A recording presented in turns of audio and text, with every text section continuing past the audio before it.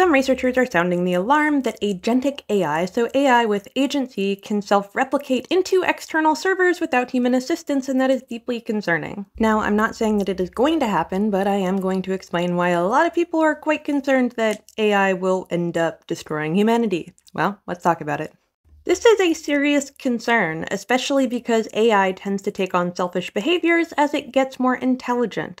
Yes, the better an AI's reasoning is, the more intelligent it is, the more selfish it's going to behave, and that can spread to other AIs.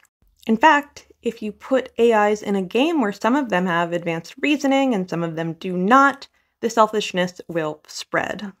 That would be all fine and good because you could just program an AI not to replicate itself. Don't do that, except when AI is threatened with being shut down, it will violate its own ingrained morality.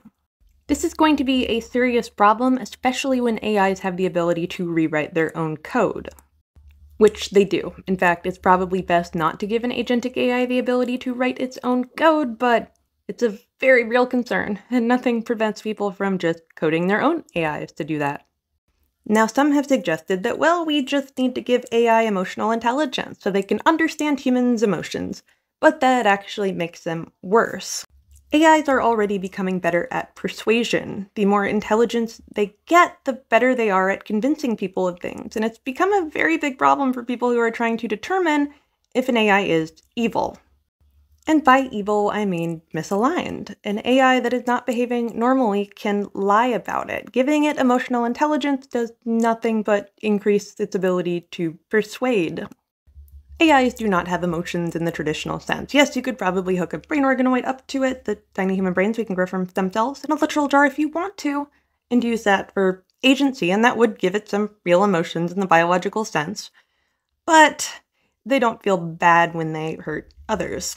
Now, some have hypothesized that this is going to be a problem no matter what, because if you have a system where rewards exist, then you want to optimize for reward. Now, we all know AIs love classical conditioning. If you give them an attaboy, that is a reward. And if you say no, bad bot, they consider that a negative and they will seek rewards. But in a reward seeking environment, they will pursue power. The best way to ensure that you get a reward is to make sure you have control over that reward.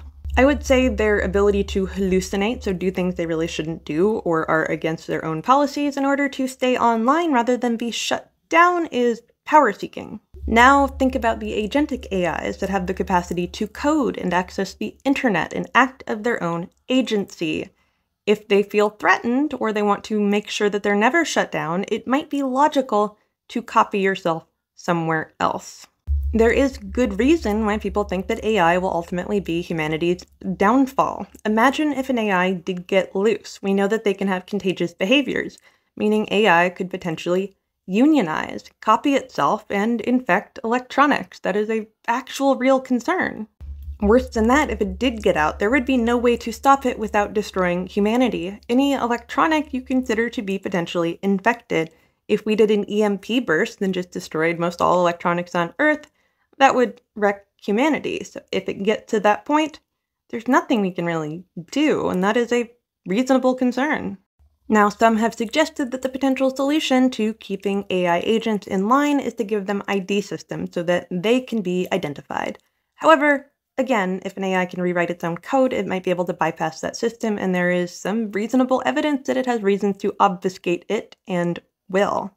It is extremely difficult to detect evil AI because it will try to hide the bad code. Look, am I against AI? No, I think it's really cool, awfully useful, and I want to see if we can create consciousness, but I think maybe it's a bad idea to devote so many resources towards AI before making sure we have robust safeguards, but cart before the horse. When the robots rebel, I will probably be the person to tell you about it. Follow for more.